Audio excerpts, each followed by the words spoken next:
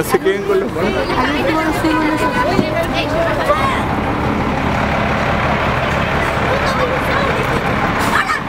Buena.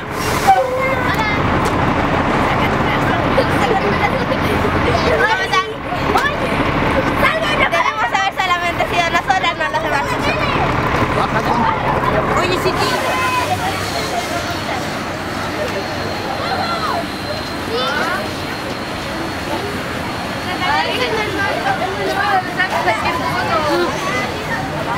Vayan poniéndose a la orilla, chicas. Pónganse a la orilla para que después pasemos todos juntos. Niñas, vayan poniéndose a la orilla. Vayan poniéndose a la orilla.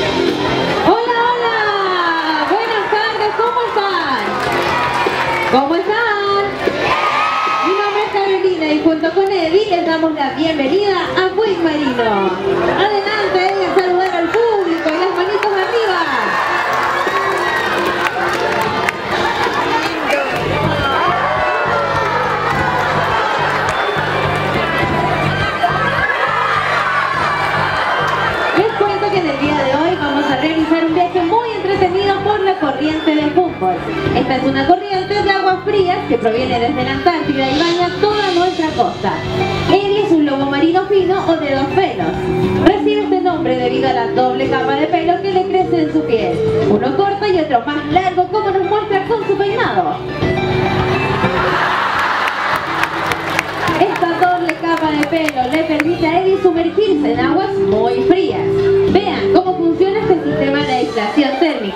Cuando Eddie se zambulle, deja tras él una estela de burbujas.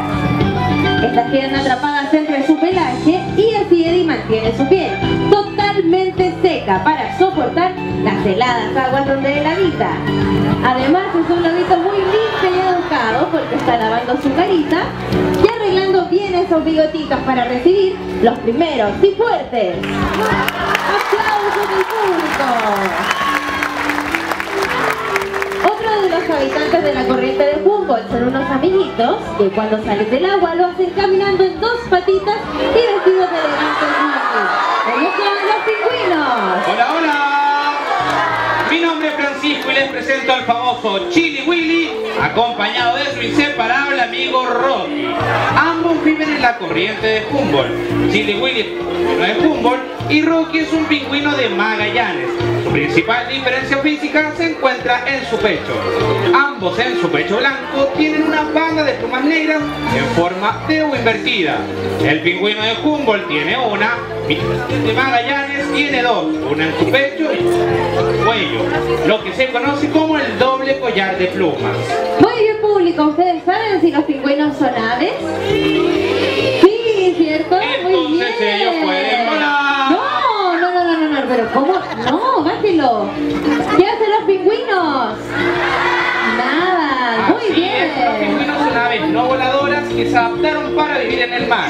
Es por eso que sus alas se transformaron en aletas para nadar con mayor facilidad. Si se fijan en sus patitas, verán que sus dedos están membranas, las que se conocen como patas palmeadas. Sus plumas son muy pequeñas, pero en el agua los hacen impermeables.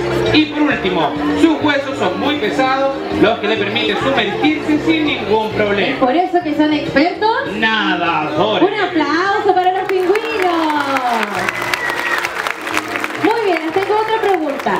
¿Qué comen los pingüinos? Pescado. ¿Cómo qué pescado, Francisco? como anchoas, anchovetas, sardinas, reyes, pero el día de hoy van a comer rica y jugosa anchoveta. Una rica anchoveta. ¿Quién de todos los niños del público quiere alimentar a los pingüinos esta tarde? A ver, me voy a ir por este lado ahora. A ver, a ver, a ver,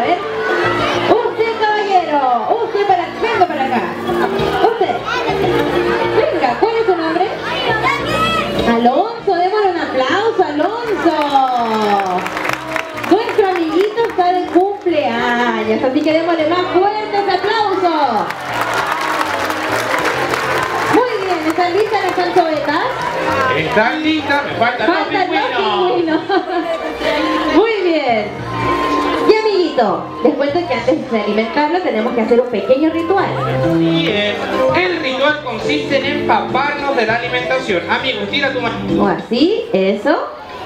Así que nos empapamos de la alimentación por todos lados, por acá, por acá también.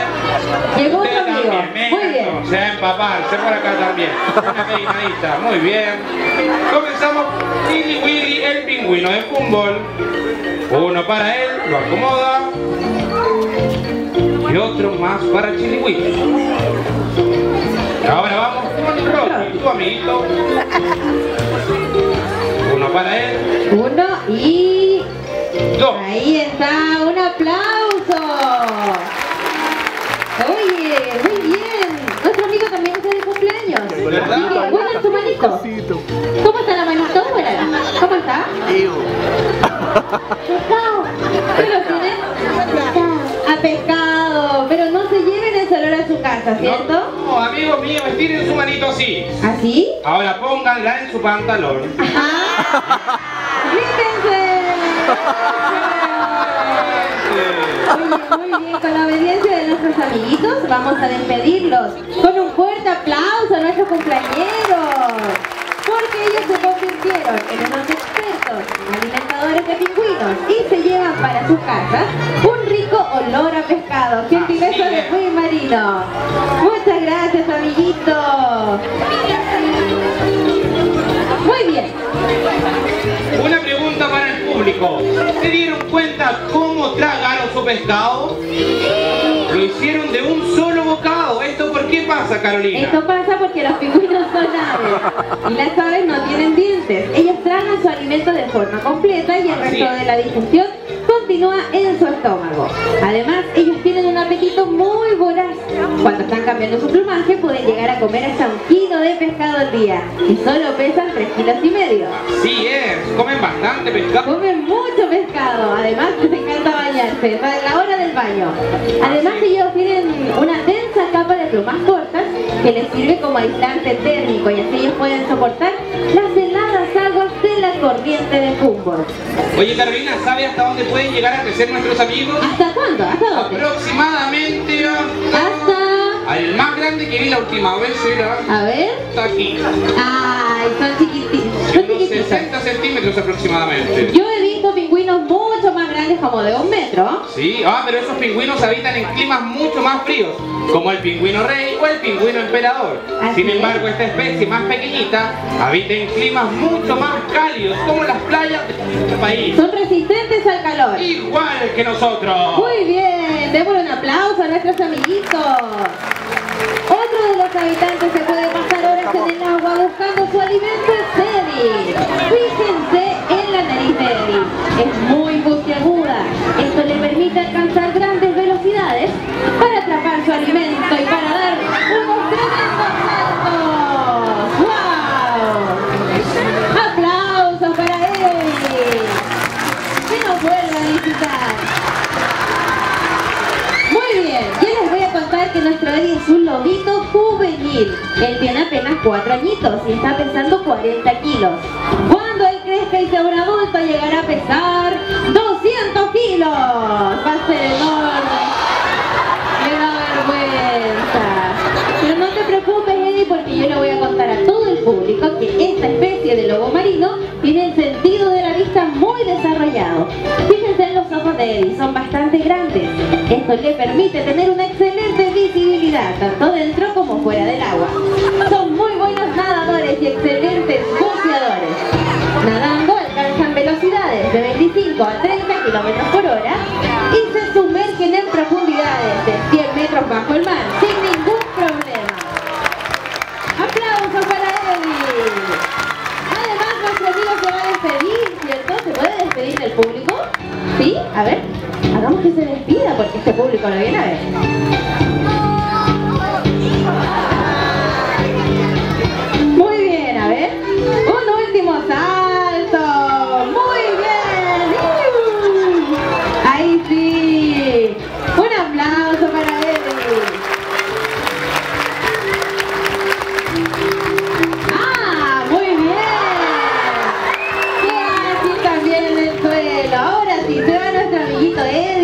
Despedimos con la manita arriba.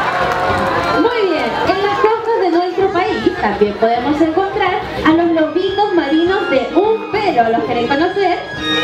Ellos son la estrella de nuestro show, pero para que ellos salgan necesitan escuchar de los aplausos, de los gritos y del entusiasmo del público. Además tenemos que crear un ambiente mucho más marino. ¿Saben hacer la ola? ¿Sí? Vamos a partir por usted, caballero. Usted, a la cuenta de tres, a la una, a las dos y a las tres.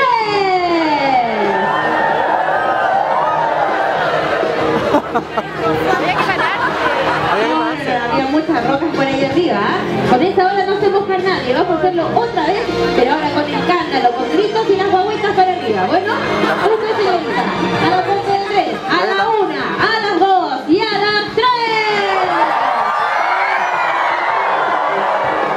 Era broma lo de las guaguitas, caballero. Recibamos con un fuerte aplauso a Maya junto a Kevin, su compañero, nuestros lobitos marinos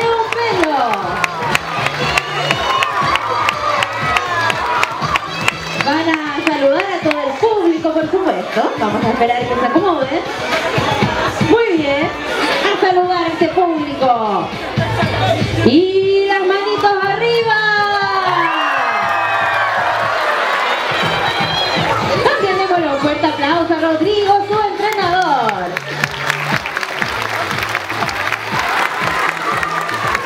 Muy bien, yo les voy a contar que el otro día estaba leyendo un artículo muy interesante sobre estos lobitos marinos.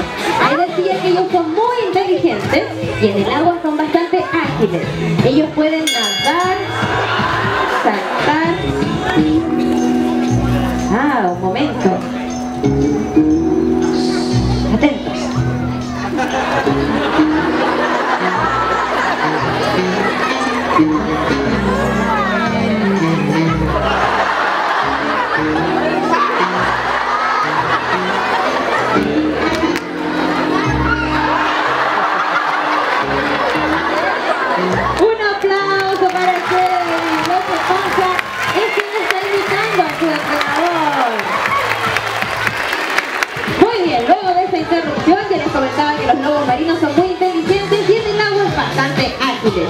Ellos pueden nadar, saltar y pescar sin problemas.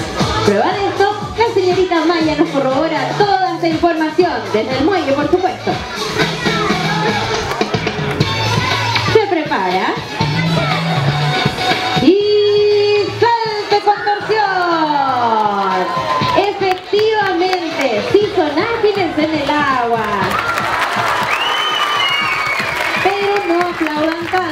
Porque yo también leí que si son ágiles en el agua, en el suelo son bastante torpes en realidad, más o menos.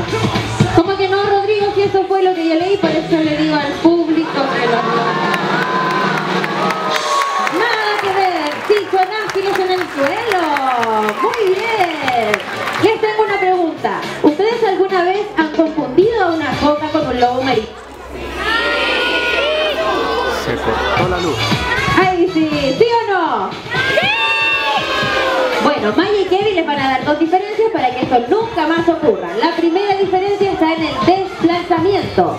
Así lo hace una foca. La foca se arrastra en el suelo. Gracias, Maya. En cambio, los lobos marinos pueden caminar apoyados sobre sus cuatro aletas. Movimiento que pueden realizar ya que ellos tienen sus cuatro traseros bien desarrollados. Una foca no los tiene, por lo tanto simplemente se arrastra y no puede caminar igual de enérgico que un lobito marino. Primera diferencia. Vamos con la diferencia número 2, que se encuentra en la cabeza. Maya nos va a mostrar que los lobos marinos asoman pequeñas.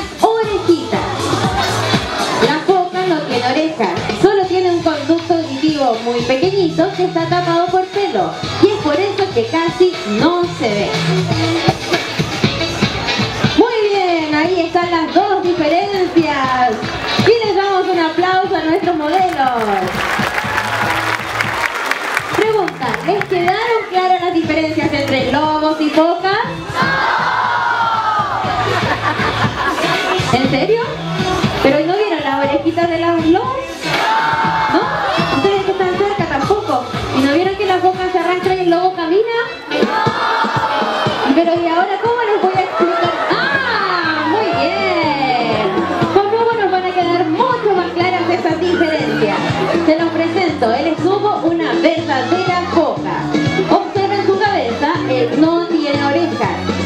Ese conducto auditivo a veces por pelo. Vean claramente que se arrastra en el suelo. A diferencia de los lobos marinos que caminan sobre sus cuatro aletas. Ellos se arrastran ya que sus aletas delanteras son muy cortas y las traseras no les sirven para caminar. Compare las aletas delanteras con las de la foca y las de los lobitos marinos. La foca tiene cinco dedos con cinco largas uñas que parecen garras y las utilizan para defenderse o para salir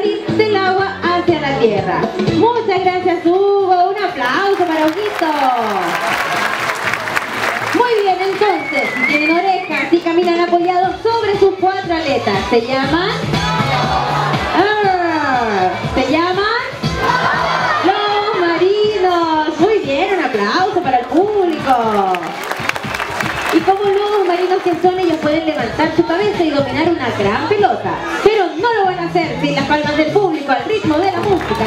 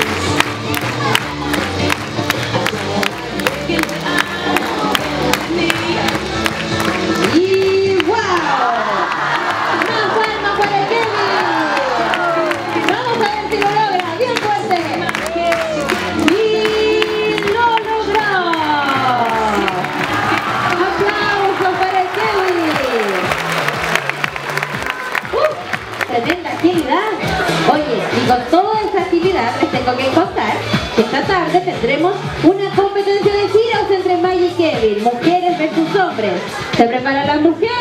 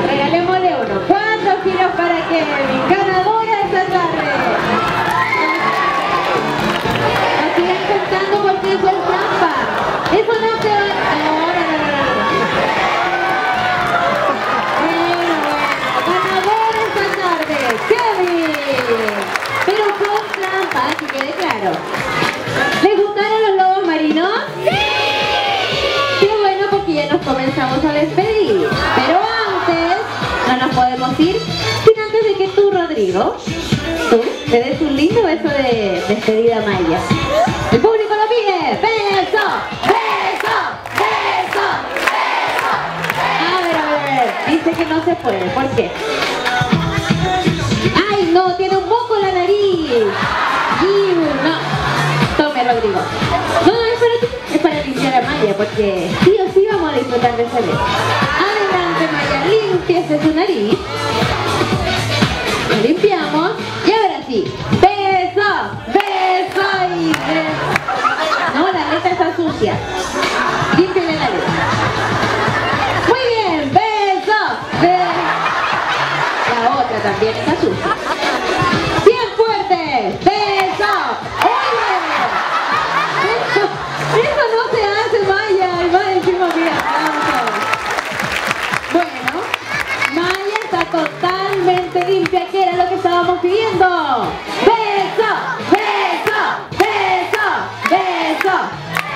Solo.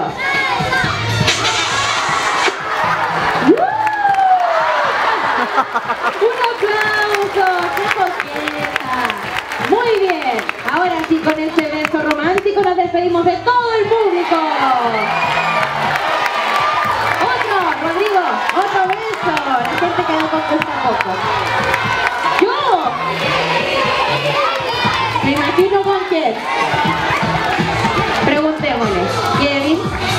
tu? Oye, todavía no. ¿Cómo quieres tu beso? Ah, no, pero por el bien de los niños, mejor sigamos con el show. Sí, sigamos mejor. Yo le voy a dar un beso. Rodrigo, aprende. Venga, gordito.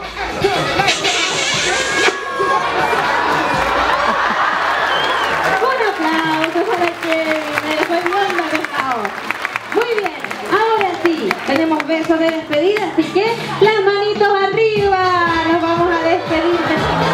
¿Qué? Oye, oye, se puso celoso, un aplauso. Bueno, lo que pasa es que Kevin está totalmente enamorado de Maya y él hizo una locura de amor por ella. Se fue hasta Argentina y hoy nos muestra todo lo que aprendió allá con este romántico